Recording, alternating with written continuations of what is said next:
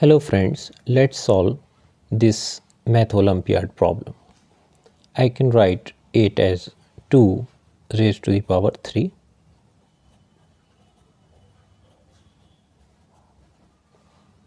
and it can be written as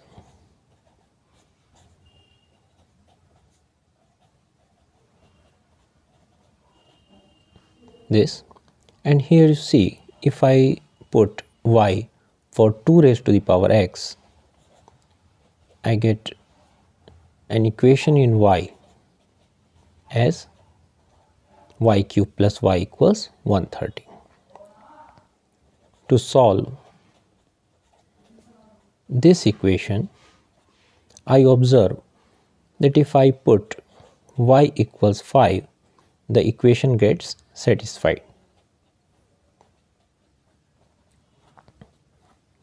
That means y minus 5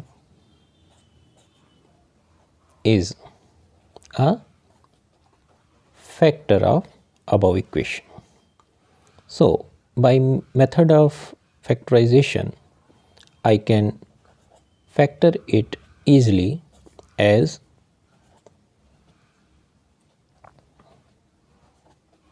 you can do it for yourself and uh, here I get either y minus 5 equals 0 or y square plus 5y plus 26 equals 0. For this quadratic equation, the discriminant delta is uh, 5 square minus 4 and which is obviously less than 0 so that means delta is negative. Hence we will have no real solution for this equation.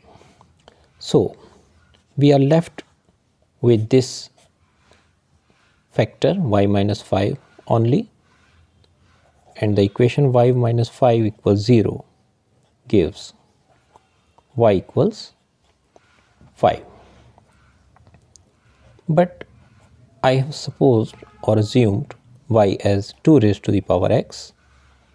So I get 2 raised to the power x equals 5. If I take logarithm on both sides with base 2 I have this equation and this gives x log 2 with base 2 equals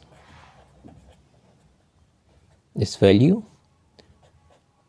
But we know that log 2 with base 2 is 1 so finally we get the value of x as log 5 with base 2 and it is the solution of this problem. Thank you.